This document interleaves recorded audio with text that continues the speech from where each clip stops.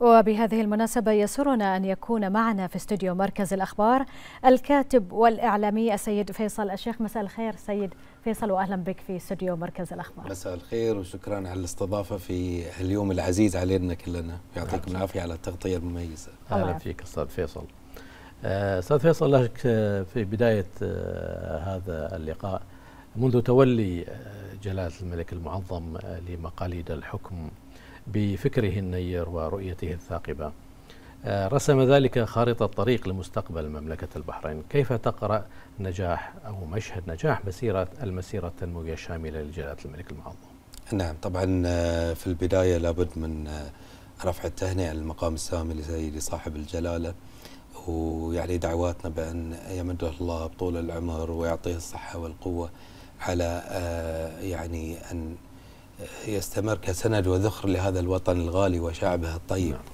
جلالة الملك المتتبع لسيرة جلالة الملك يمكنه أن يقول أن حمد بن عيسى بدأ كحاكم لمدة 25 عام ولكن إن صح القول لمسات جلالة الملك وتأثيره في بناء الدولة الحديثة للبحرين بدأت قبل ذلك حينما كان طبعا وليا للعهد ومنذ نشأته طبعا إسهامات جلالة الملك كانت مؤثرة وكبيرة ولعل أبرز إنجازاته هو تأسيس قوة دفاع البحرين التي نفخر بها دائما. وجلالة الملك في كلمته السامية اليوم أشار لدرع الوطن الحصين هذا المكان الذي تصنع فيه الرجولة وتصنع فيه سمعة البحرين. بدأ حمد بن عيسى مشروع نهضوي كبير. يعني أنا أتذكر البدايات عشنا معاها ثورة إصلاحية شاملة إن صح التعبير.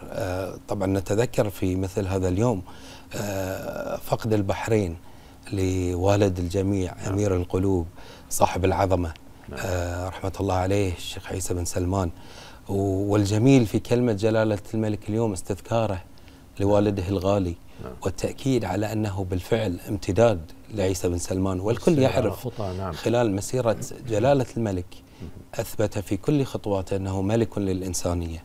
أه تجسيد للمبادئ والأخلاق التي عرفنا فيها عيسى بن سلمان وتجسدت وتعاظمت مع الملك حمد. نعم. ملكنا الغالي أه بدأ عملية تغيير شاملة رغم أن إحنا يعني في الفترة ذيك كنا نقول؟ جلالة الملك مسك مقاليد الحكم شو اللي تحتاجه البحرين للتغيير؟ لكنها كانت رؤية قائد شجاع نعم. قائد أراد التغيير للأفضل أعاد الحياة البرلمانية فتح الأبواب واسعة لجميع أبناء البحرين. للعمل فيها. أسس دستورا جديدا مؤسسات كبيرة وشاملة تشمل الجميع. كانت النقطة المؤثرة أيضا حمد بن عيسى هو من رفع أسهم المرأة البحرينية نعم. وأوصلها للعالمية وبفضل أيضا من جهود صاحبة السمو الملكي آه الأميرة سبيكة. نتكلم اليوم عما وصلت إليه البحرين بعد 25 عام من هذه الثورة الإصلاحية من هذا الحراك الذي لا يتوقف.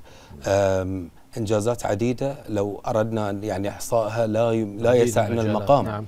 آه يكفي أن نقول آه بأننا اليوم وصلنا لمرحلة لدينا كل الثقة في هذا القائد العظيم هذا الأب الحاني على أبنائه. البحرين تغيرت بمقدار كبير. التطلعات للمستقبل موجودة مثل ما بين جلالته في كلمته نعمل اليوم وقال أنا واحد منكم همي هذا الوطن وأعمل لخير ومستقبل أبناء البحرين نعم. وأجيال البحرين. نعم سيد فيصل كما ذكرت الإنجازات عديدة ولا يسعنا الوقت لحصرها جميعا ولكن نركز على الصحافة تحديدا. فقد ساهمت الرؤية الثاقبة والفكر النير لحضرة صاحب الجلالة الملك المعظم في دعم الصحافة البحرينية وقد تجسد ذلك من خلال بنود ميثاق العمل الوطني.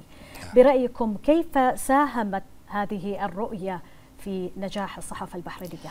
آه طبعا كإعلام وصحافة ارتباطنا قوي جدا بالملك حمد وهو كقائد آه وإنسان يعني دائما يثبت ذكاء وحكمته في في قرارته كانت الصحافة لها موقع أثير دائما هو من اعتبر الصحافة دوما سلطة رابعة يعني عملها يتكامل مع السلطات الثلاث وهو رأس هذه السلطات الله يحفظه. آه، دائما في مجالسه كان هناك تقدير للصحافة. أنا أتذكر أول آه، مجلس إدارة لجمعية الصحفيين تأسس في عهد جلالة الملك. آه، كان لنا الشرف في الجلوس مع جلالته في أول مجلس يمكن كنت أصغر كاتب موجود أو صحفي. وكلمات جلالته رسمت خارطة الطريق لهذا الإعلام البحريني الوطني. إعلام له حدوده الواسعة له حريته المطلقة. إعلام يلتزم بالدفاع عن هذا الوطن بمساعدة الدولة عبر أجهزتها العديدة في إيصال صوت ونبض هذا الوطن.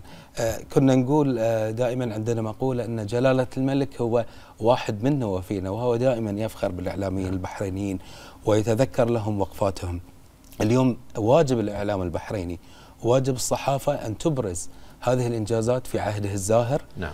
في يعني هذه السنوات ال 25 وأيضا دون نسيان ما سبق مثل ما ذكرت هو أسس لهذه الدولة منذ أيام والده الراحل العظيم. نعم. وما زال يستمر وما زال يغرس هذه الأمور في أبنائهم مثلما نتابع جهود صاحب السمو الملكي الأمير سلمان ولي العهد رئيس الوزراء في استمرار بناء الدولة والنهوض بها والتطوير.